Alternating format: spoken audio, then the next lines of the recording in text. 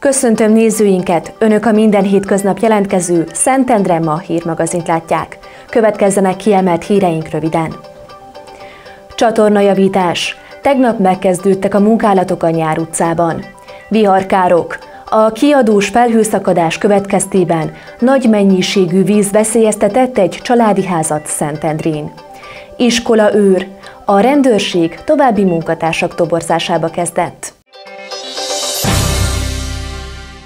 Tegnap elkezdték a csatornajavítást a Nyár utcában. A DMRV Dunamenti Regionális Vízmű ZRT lakossági tájékoztatása szerint előreláthatólag szeptember 4-ig a meghibásodott szennyvíz gerincvezeték kiváltását, cseréjét végzi a társasággal szerződött külső kivitelező a Sas utca és a Füzes Park között.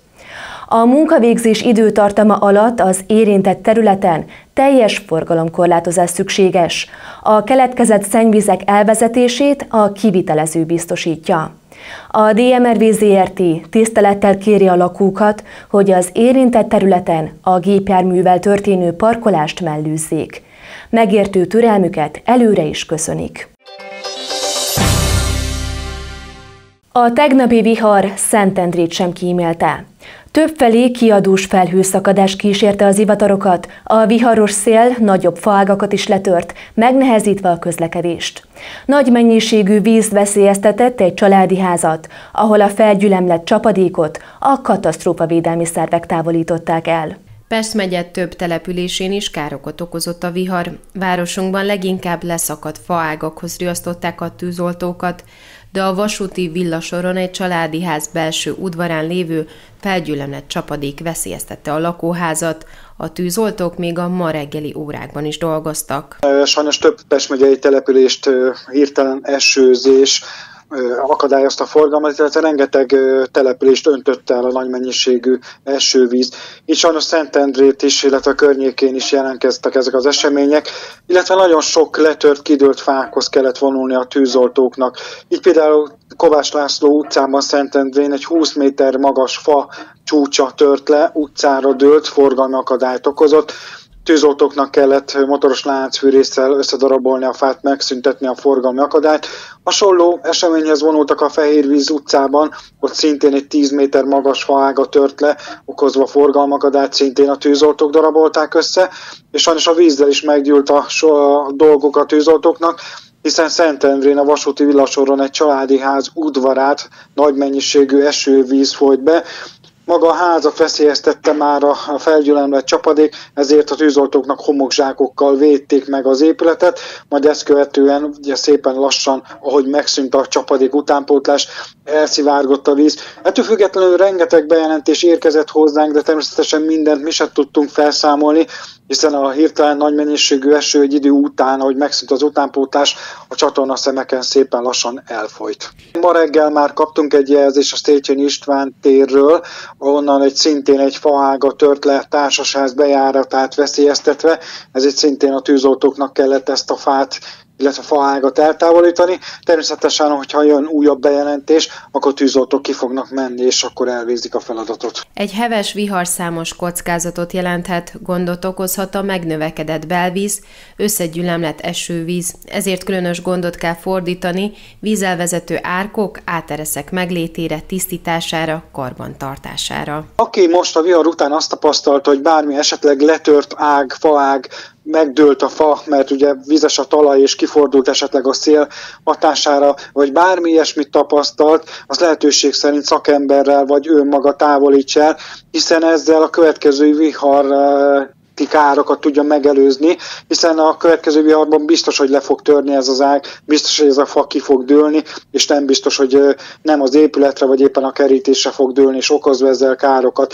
Illetve mindenki vizsgálja meg a, az épület előtt van éppen vízelvezető árok, hogy az átereszek milyen állapotban vannak. Általában ilyen nagyobb esőzés követően sajnos el szoktak dugulni, és következő esőzés követően pedig a víz nem bír majd rajta lefolyni, és bizony az az alacsonyabban fekvő pontokhoz. Ez általában mindig a melléképületek, garázsok, pincéket áraszt el majd a mennyiségű esővíz, tehát érdemes kitisztítani, vagy megnézni az épület elő lévő vízlevezető árkokat. Csámpai Attila kiemelte, hogy a tűzoltók csak közvetlen életveszély, sérülés veszély esetén avatkoznak be. Nekünk akkor feladatunk, ha közvetlen életveszély áll fenn.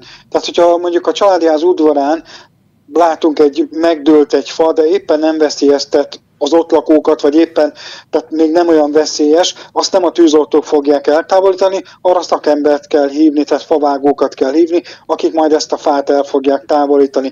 Tehát mindent a tűzoltók sem fognak elvégezni, de természetesen, ha közvetlen életveszély fennáll, akkor a tűzoltók mennek és be fognak avatkozni. Az elmúlt napok csapadékosabb időjárása ellenére továbbra is tiltott a tűzgyújtás. Egyelőre még nincsen feladat, tehát még mindig országosan tűzjutási tilalomban Úgyis ennek az az oka, hogy rettentő nagy asszály volt, rettentő nagy szárasság volt. Gyakorlatilag ez az eső, ami most leesett, elnyelte a föld. Ad, mindaddig fent lesz tartva a tűzjutási tilalom, még a, még a maga a száraz növényzet nem tér magához, egy kicsit kizöldel, ezáltal talán a szabadtéri tüzek száma is csökkenni fog, hiszen ameddig még ilyen száraz a növényzet, sajnos akkor még mindig elég egy eldobott égő dohánynemű, és már is komoly károkat tud okozni. Bárki kirándulni megy, lehetőség szerint mindig tájékozódjon a, a kiránduló helyről.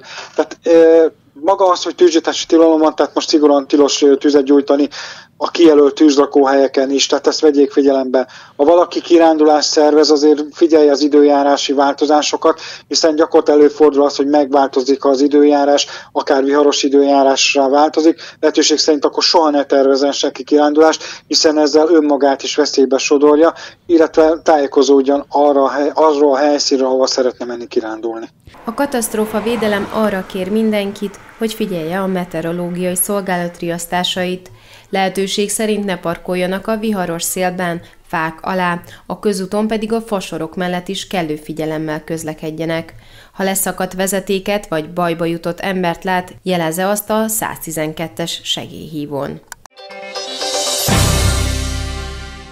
2020. szeptember 1-e óta teljesítenek feladatot az iskolaőrök, az ország erre kijelölt köznevelési és szakképzési intézményeiben. Az illetékes rendőrség területi szerveinél, azaz a megyei, illetve a budapesti rendőrfőkapitányságnál állnak munkaviszonyban. Feladatuk, hogy segítsék az oktatási nevelési intézmény pedagógusait, a nevelő és oktató munkát ellátó alkalmazottakat abban, hogy zavartalanul végezhessék munkájukat. Jelenleg több száz iskolaőr teljesít szolgálatot országszerte, de mivel intézményi oldalon megnőtt irántuk a kereslet, ezért a rendőrség további munkatársak toborzásába kezdett. Jelenleg közel 480 iskolunk teljesít szolgálatot különböző közoktatási intézményben, viszont akkora igény van rájuk, annyi jelentkezés van az iskoláktól, hogy szeretnének iskolőket, hogy további toborzás szükséges, ezért a rendőrkapitányságok közel 100 főt akarnak toborozni. Ebből 55 fő augusztusban megkezdte a képzést, viszont további iskolák toborozásában kezdtünk, és szeretettel várjuk a iskolőknek a jelentkezését. Az iskolők azok fegyverhasználati jog nélkül kényszerítő eszközzel felruházva közszolgatot ellátó személyek, akiknek az a feladata, hogy gyakorlatilag a nevelési közoktatási intézményekben megakadályozzák a bűncselekményeket, vigyázzanak arra, hogy a pedagógusok, illetve a tanulók tudjanak normálisan, normális körülmények között tanulni, megnézzék azt esetleg, hogyha vannak olyan bűncselekmények, hogy akár a kerítésen keresztül akar valaki beadni drogot, kábítószer, cigarettát, bármit, azokat megakadályozzák, és igazából nevelési munkában segítenek. Az iskolák többségében inkább szóban próbálnak fegyelmezni, szóban próbálnak hatni az emberekre, ami ez nem sikerül, akkor kényszerítő eszközt használhatnak. Ugye fegyverhasználatjuk nincsen, szóval fegyvert nem használhatnak, de kényszerítő eszköz sajnos az elmúlt években is volt többször szükség. Bár az iskolaőröket fegyverhasználati jog nem illeti meg, de kényszerítő eszközökkel rendelkeznek.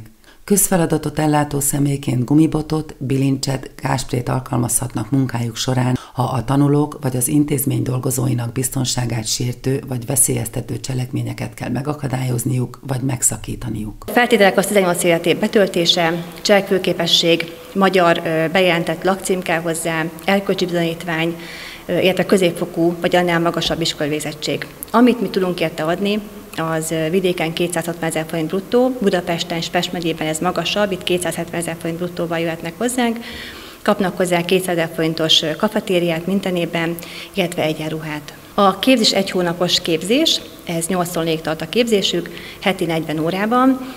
Itt különböző dolgokat, különböző modulokat tanulnak, pszichológiát, pedagógiát, kényszerítő eszköz alkalmazását, és mindent, ami esetleges, esetlegesen szükség van a munkájuk során. A leendő iskolaőrök egy hónapos képzésen vesznek részt, amely pedagógiai, gyermekpszichológiai, rendvédelmi modulból áll, de rendészeti és bűnmegelőzési, valamint konfliktuskezelési oktatásban is részesülnek majd. Az érdeklődők Szentendre és vonzás körzetében egyelőre két helyen végezhetik el a tanfolyamot és tölthetik be a pozíciót, de a programhoz csatlakozó intézmények száma folyamatosan nő. Amennyiben ezt befejezték és sikeresen levizsgáznak, ezt követően tudnak majd munkába állni abban az iskolában, amelyiket választják.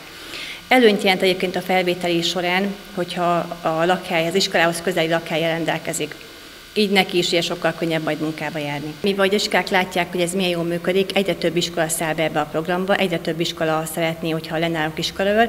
Nálunk most ilyen pillanatban Szentendre és vonzáskörében a Szentendre Petszelt iskolában, illetve a Pomázi Sassal és Andrát iskolában van iskolai helyünk, üres státuszunk. A jelentkezők a sikeres vizsgát követően tanítási időben évközben napi 8 órás teljes munkaidős foglalkoztatásban vesznek részt, míg a nyáron a bűnmegelőzési előadók kíséretében egyéb iskolán kívüli feladatokat fognak ellátni. Az iskolők a kiadott objektumokba, iskolákba fognak szolgáltat ellátni, ez fél nyolctól fél időszakban. Ez azt jelenti, hogy amikor esetlegesen valakinek gyereke van, reggel el tudja vinni az iskolába, délután tud menni az iskolába érte.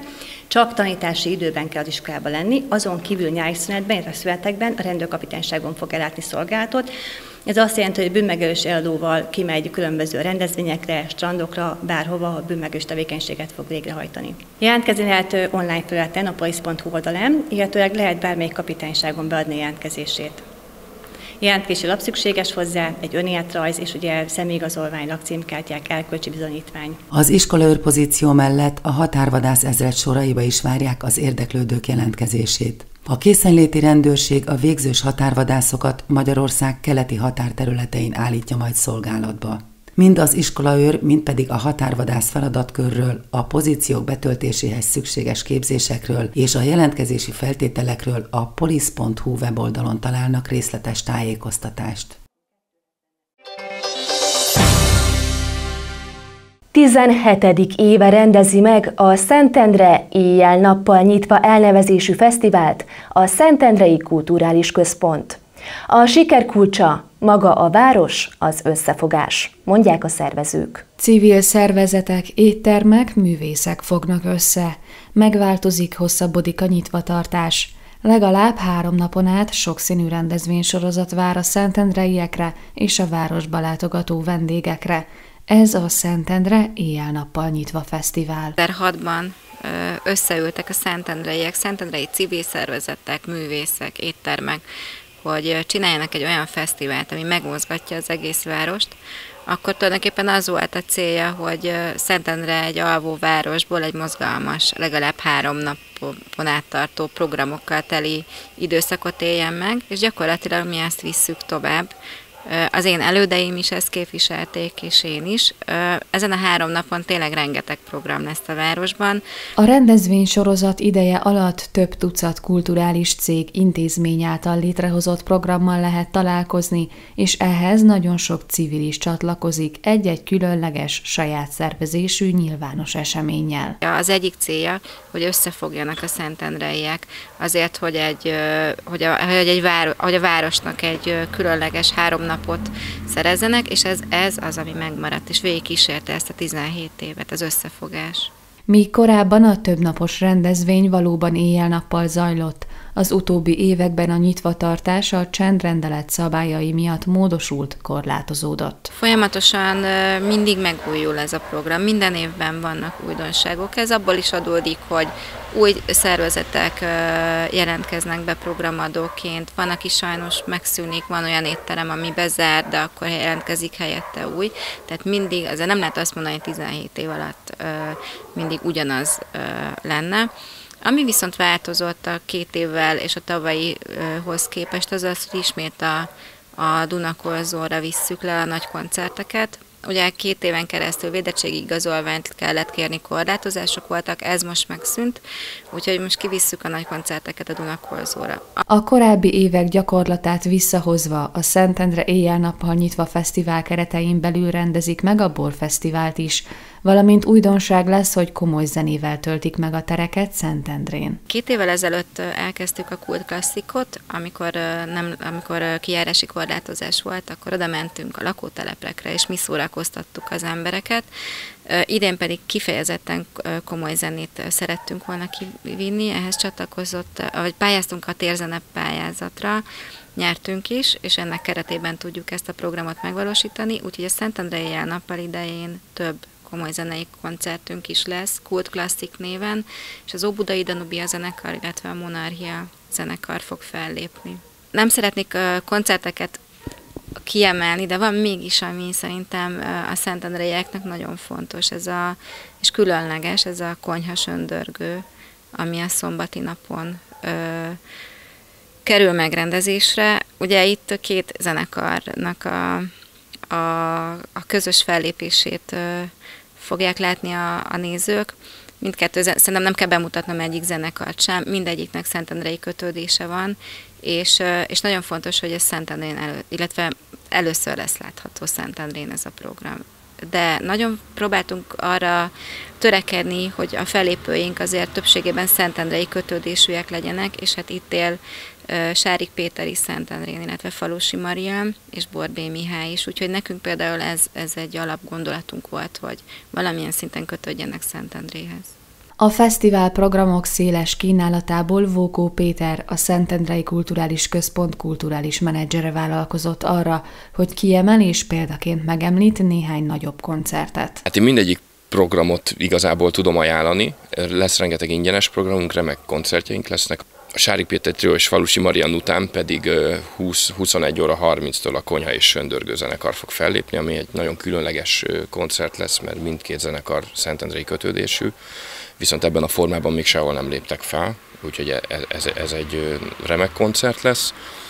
Vasárnap ott egy órával előbb kezdődnek már a fellépések, 18 órától a Borbé Mihálynak a Dunakanya Jazz Quartet formációja kiegészülve Pocsai Krisztával ad egy remek koncertet, és utána pedig 20 óra 30 a Ladányban a 27 zenekar zárja a, a fesztivált.